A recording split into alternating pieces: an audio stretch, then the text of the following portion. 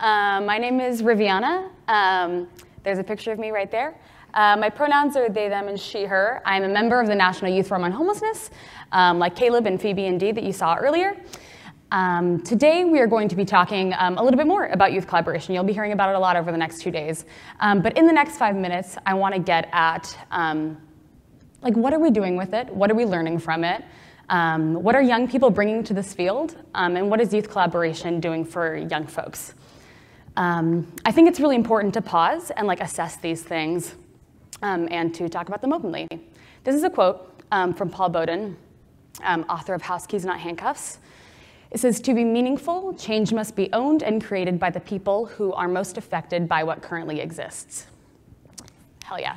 Um, he uh, first experienced homelessness at the age of 16 in San Francisco um, and has been a huge advocate for uh, the power of centering lived experience in this work. So I feel like this is a really, really awesome quote to center this, um, uh, this conversation around.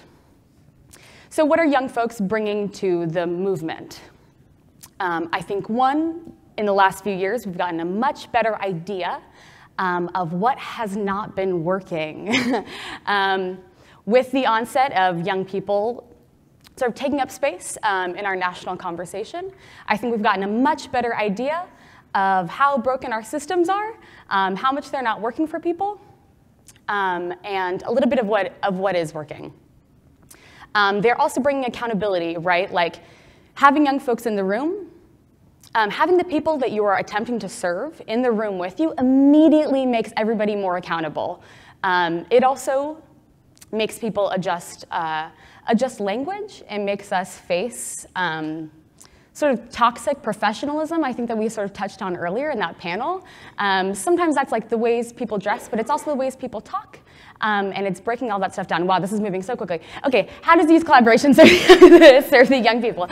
Um, I think as the role of young people expand in this movement, um, it means that uh, young people are able to explore their own skills um, because young people can be involved in the work in a number of different ways. Um, it also means um, connection to community. I know that when I first started doing this work as a young person with lived experience, um, it meant that for the first time, oh, look at Dee, so cute.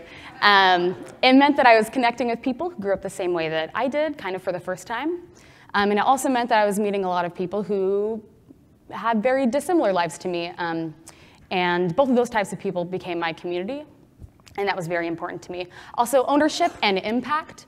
Um, it is an incredibly powerful thing to be able to begin to heal the systems that harmed you in one way or another. Um, and allowing young people of experience to have ownership and impact in that way um, is incredibly important. This is attempting to get at this thing that we have going on, where there's people working at a systems level, direct service providers, frontline staff, and young people. Um, I think often all of those parts of this movement are operating in really, really different spaces. And to me, this is just meant to illustrate that collaborating with young people is a way to begin to like have some equity in these conversations and to begin to have um, more viewpoints in these conversations.